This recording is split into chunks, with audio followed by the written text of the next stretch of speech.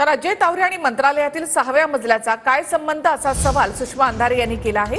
त्यामुळे अंधारेंचा आरोप नेमका कुणाकडे आहे अशी चर्चाही रंगते अडीच वर्षांपूर्वी सरकार पाडलं गेलं. त्याचा काय संबंध असा सवालही त्यांनी यावेळी उपस्थित केलेला आहे. इतकंच नाही तर गेल्या दहा वर्षात तावरेनं काय केलं हे समजून घेतलं पाहिजे असं अंधारे यांनी म्हटलं. दरम्यान तावरेला सहाव्या मजल्याचं संरक्षण असेल तर त्याच्या जीवाला धोका कसा निर्माण होईल असा सवाल करत शिरसाटांनी अंधारेंना प्रत्युत्तर दिलं आहे. दहा बारा वर्षामध्ये अजय तावरेने काय काय बघितलेलं आहे हे नीट समजून घ्यावं. इव्हन पल्लवी सापळे अजय तावरे अजय चंदनवाले त्यानंतर काय अनेक अनेक नावं आहेत. अनेक म्हणजे अनेक नावं आहेत याच्यामध्ये.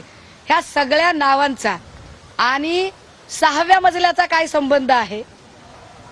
अडीच वर्षापूर्वी जे सरकार पाडलं गेलं त्याचा काय संबंध आहे?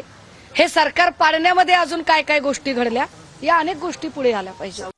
अजय तावरेला जर सहाव्या मजल्यावरचं संरक्षण जर असेल तर त्यांच्या जीवाला धोका होण्याचं काही कारणच नाही म्हणून तावरे असो का आणखीन बावरे असो हे कोणीही जरी असले तर पोलीस आपली कारवाई करताना या सर्व बाबीचं लक्ष ठेवेल आणि कुठेही कोणाच्या जीवाला धोका होणार नाही.